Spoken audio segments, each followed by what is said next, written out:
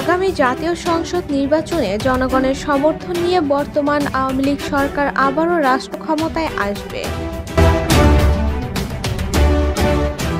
দেশ news TV সারা দেশ সারাদিন। তথ্য চিত্রে সাভার আশুলিয়া থেকে শাহাদাত হোসেন। আগামী জাতীয় সংসদ নির্বাচনে জনগণের সমর্থন নিয়ে বর্তমান আওয়ামী লীগ সরকার আবারও রাষ্ট্রীয় ক্ষমতায় আসবে বলে আশা প্রকাশ করেছেন দুর্যোগ ব্যবস্থাপনা ও ত্রাণ প্রতিমন্ত্রী ডক্টর এনামুর রহমান। সাভারের বনগাঁও ইউনিয়নের হাঙ্গাইল এলাকায় সমাজের দুস্থ মানুষদের মাঝে ত্রাণ সামগ্রী বিতরণ অনুষ্ঠানে যোগ দিয়ে প্রধান অতিথির বক্তব্যে তিনি একথা বলেন। দুর্যোগ ব্যবস্থাপনা ও ত্রাণ প্রতিমন্ত্রী ডক্টর এনামুর রহমান এ সময় আরও বলেন দীর্ঘদিন ধরে আওয়ামী লীগ সরকার ক্ষমতায় থাকায় দেশের আনাচে কোনাচে ব্যাপক উন্নয়ন হচ্ছে, কিন্তু তা দেখে বিএনপি সবসময় সরকারের বিরুদ্ধে ষড়যন্ত্র করছে বলেও তিনি বলেন।